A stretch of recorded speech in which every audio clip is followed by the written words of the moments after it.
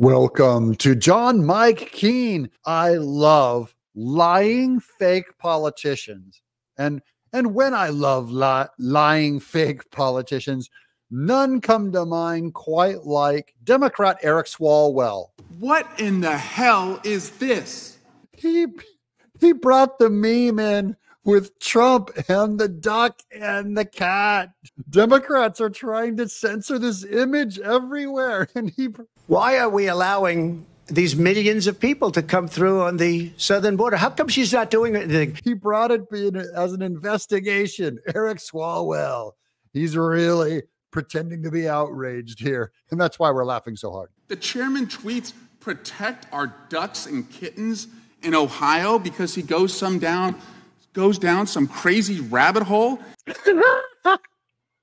Speaking of rabbit holes, are, are the rabbits safe too, Eric? Completely debunked that aliens are eating pets. I love the fake drama with the head in his hands. I'm dying.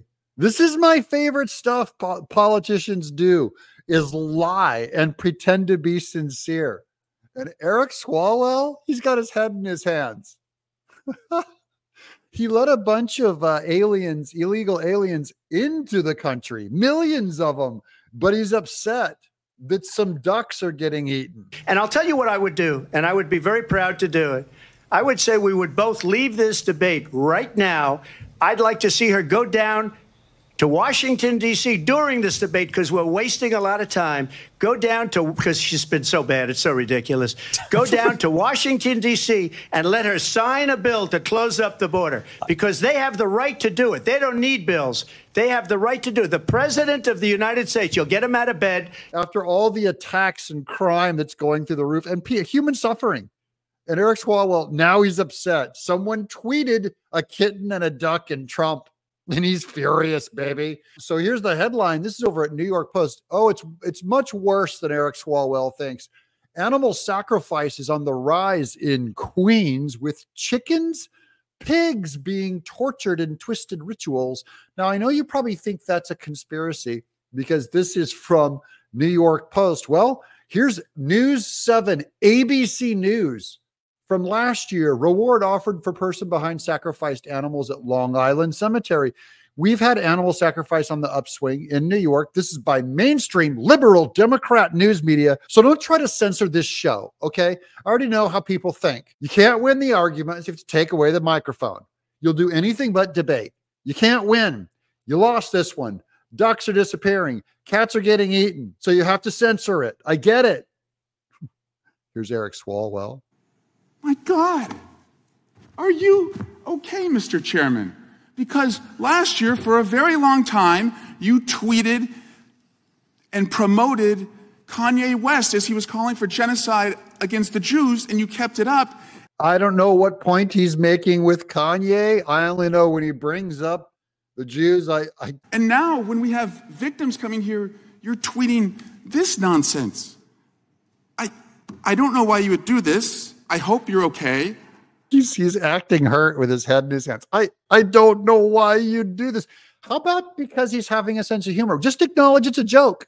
Do you think he put it up there seriously as like evidence for the FBI to, to calibrate all their instruments to? It's between the left and the right. We can make a joke, and you take jokes and you throw people in prison for it because you can't laugh.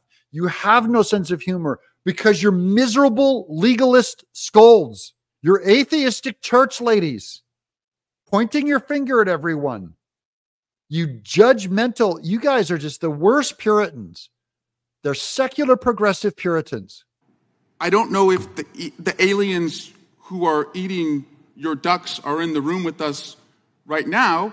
And look, he's now he's making a joke. Are they in the room with us, like saying he's delusional?